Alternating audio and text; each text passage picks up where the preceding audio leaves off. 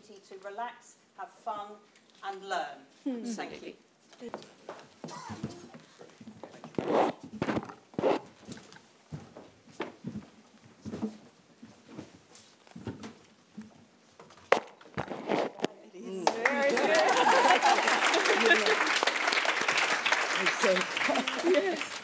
Just very, very briefly, because we want to get into the main event.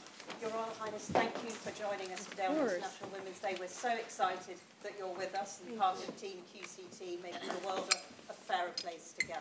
And next to Annie is Adwoa. Adwoa, an activist, model, and founder of the Great Gurls Talk, an online forum where young women can discuss mental health safely, such an important issue at the moment.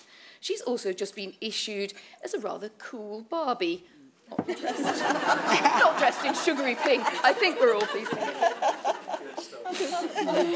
next, next to, uh, to Adwoa, who will not be known as Barbie for the rest of this session, is Her Royal Highness the Duchess of Sussex, who started her feminist journey at the age of 11, complaining about the portrayal of women in advertising.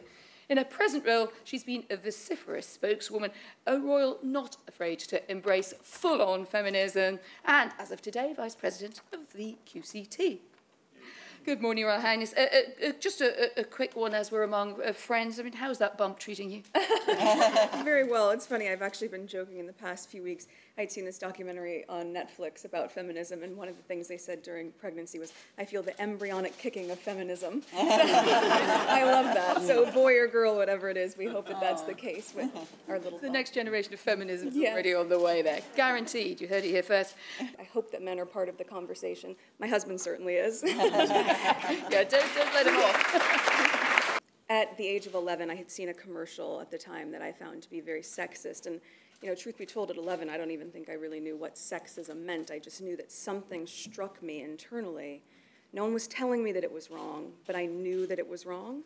And I think sort of using that as my moral compass and moving through from the age of 11, being able to see that at that age, I was able to actually change this commercial before social media, before being able to, you know, have a larger reach, just putting pen to paper, it really set up the trajectory for me to say, if things are wrong and there is a lack of justice and there's an inequality, then someone needs to say something.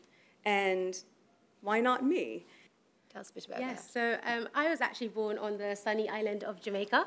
I... I'm just thrilled that today, on International Women's Day, Apple Music have given us the opportunity to create a short film that explains about it explains the reasons why global feminism is an absolute must for the future zeitgeist.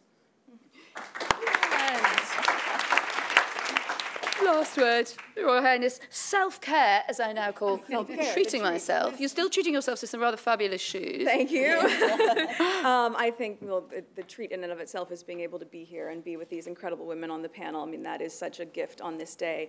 And then separate from that, the women in my life um, that I want to celebrate, I will continue to send some love to today, but also the men, uh, you know, who are championing all of us as part of this journey is great and then I'll put my feet up because that's a deserved treat, especially at this stage of pregnancy.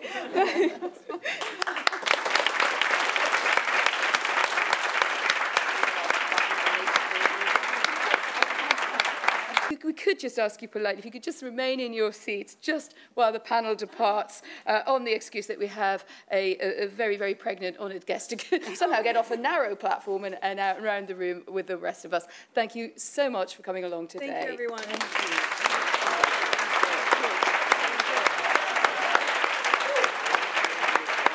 Thank you. Oh, absolutely.